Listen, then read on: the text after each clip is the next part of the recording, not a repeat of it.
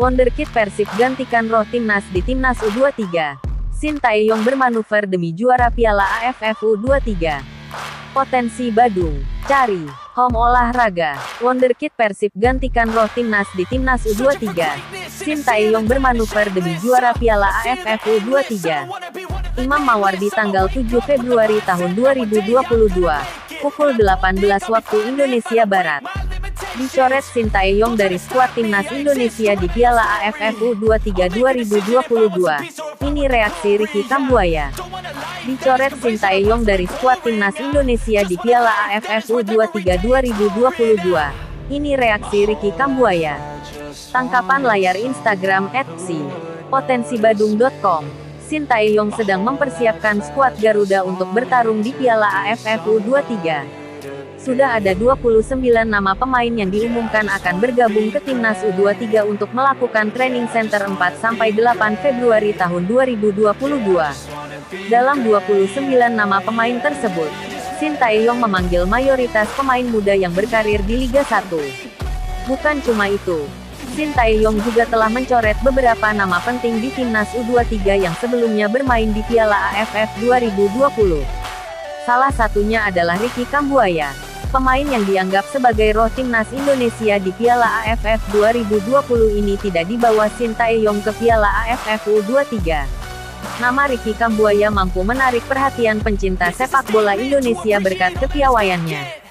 Pemain asal Persebaya Surabaya itu sukses menunjukkan kelasnya ketika bermain melawan Timor Leste di laga FIFA Matchday. Ricky Kambuaya sukses mencetak gol kemenangan untuk timnas Indonesia dalam laga uji coba yang bergulir di Stadion Kapten Iwayan Dipta, Gianyar, Bali. Ricky Kambuaya tampil bagus dengan mencetak satu gol dan satu asis untuk gol yang dicetak Terence Puhiri. Selain gol dan asis, pergerakan dan umpan-umpannya kerap merepotkan barisan belakang Timor Leste. Sebetulnya Ricky Kambuaya sudah jadi sosok perbincangan saat dirinya bermain untuk timnas Indonesia di Piala AFF 2020 yang berlangsung di Singapura. Ricky Kambuaya pula sukses mencetak gol untuk timnas Indonesia di partai final Piala AFF 2020 leg kedua. Akan tetapi, gol Ricky Kambuaya tak mampu membawa keunggulan untuk timnas Indonesia. Dalam final itu, Evan Dimas dan kawan-kawan harus mengakui keunggulan timnas Thailand dengan skor agregat 6-2. Namun pada gelaran Piala AFF U23 kali ini, pemain asal Papua ini tidak bisa dibawa Shin Taeyong ke Kamboja. Ricky Kambuaya tidak dapat masuk daftar skuad pemain timnas Indonesia di Piala AFF U23.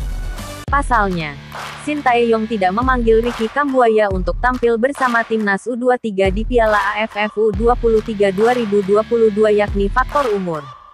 Seperti diketahui, jika usia Ricky Kambuaya sudah melebihi dari 23 tahun, karena alasan tersebut Shin Taeyong tidak memasukkan nama Ricky Kambuaya ke dalam daftar pemain yang akan ditugaskan di Piala AFF U23.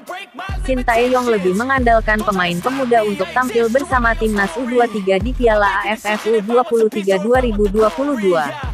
Bahkan jika dirata-ratakan pemain timnas U23 yang dibawa Shin Taeyong untuk tampil di Piala AFF U23 2022 berada di usia 17-20 tahun menyadari bahwa dirinya tak masuk dalam skuad timnas Indonesia di Piala AFF U23. Ricky Kambuaya sangat legowo atas keputusan tersebut. Bahkan Ricky Kambuaya memberikan pesan bagi skuad timnas U23 yang akan bertanding di Piala AFF U23 2022. Hal tersebut disampaikan Ricky Kambuaya pada saat dirinya masih ikut timnas U23 saat laga uji coba melawan Timor Leste di FIFA Matchday. Ricky Kambuaya berpesan bahwa jika seluruh pemain timnas U23 masih ada beberapa hal yang perlu diperbaiki lagi jelang Piala AFF U23 2022. Mengingat dalam laga uji coba kemarin, menurut Ricky Kambuaya beberapa pemain timnas U23 masih harus banyak melakukan kesalahan.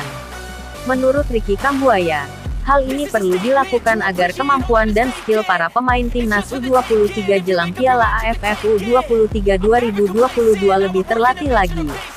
Tetapi menurut saya masih banyak pekerjaan rumah di tim ini. Kami tetap akan maju. Kami akan perbaiki satu persatu dan kami akan maju. Ujar Ricky Kambuaya dilansir laman resmi PSSI. Untuk menggantikan posisi Ricky Kambuaya, Shin Taeyong sudah memanggil wonderkid Persib Bandung yaitu Beckham Putra Nurgraha.